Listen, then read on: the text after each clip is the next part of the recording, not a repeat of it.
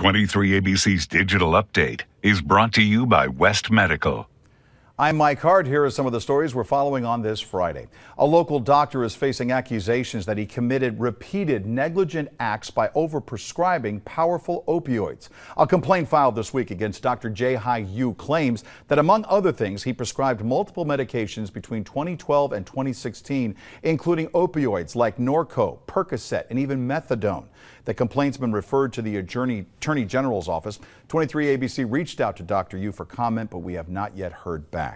And it's the final day to submit your application for the BPD's Junior Police Academy, a four week summer program that gives children an idea of just exactly what it takes to become an officer. There are two sessions for kids 11 through 13 and 14 through 17. Applications had to be turned in to the BPD's Activities League on 4th Street. For more info and a link to print out that application, you can go to our website, turnto23.com. And the Condors will host San Diego in game one of the Pacific Division Finals at Rabobank Arena tonight. The two teams very similar. Bakersfield will be looking to take advantage of every chance they get in this best of seven series. The puck drops tonight at 7 p.m. Game two tomorrow night, then headed back to San Diego for two more.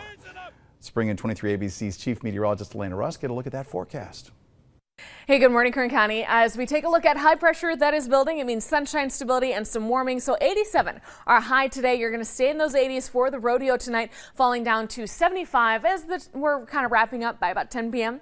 And then heading into the weekend, Saturday in Shafter is at 85 for their parade in the morning. It'll be in the 70s, building to those 80s in the afternoon. For the Sunday celebrations on Cinco de Mayo itself, mid 70s, you see a little cloud cover, slight chance of rain. There's a system moving on shore. But that's not until Sunday. So for Saturday, the Cherry Fest at Murray Family Farms, you see 70s in the morning give way to those 80s for much of the afternoon and evening. And that means we will also have 80s for the Boot Scootin' Derby, that fundraiser out at Gardner Ranch for CASA tomorrow night.